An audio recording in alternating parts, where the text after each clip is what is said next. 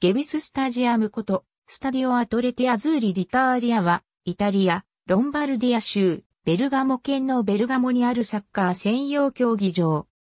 アタランタ BC がホームスタジアムとして使用している。収容人数は24,950人。1928年完成のスタジアムで、それ以降は大幅な改修をしておらず景観が悪くスタンドを覆う屋根がない上に、内部の設備もよろしくなく時代遅れは否めず、セリエ A の標準的なスタジアムとは程遠い。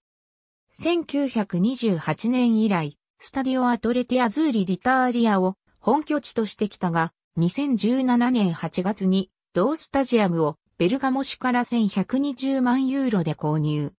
ベルガモ市は2018年10月、3段階に分けて、同スタジアムを改修する計画の建築許可の交付について、クラブと合意した。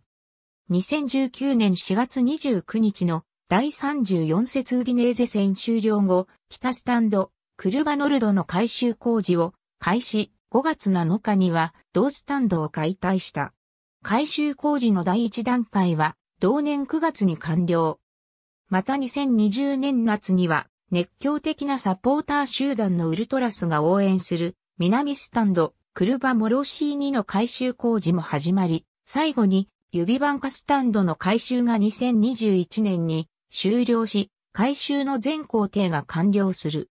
以前の収容人数は21,300人となっていたが、総工費4000万ユーロの改修工事後は2万4000人に増える予定。さらに命名権でゲビススタジアムと解消されることも明らかになった。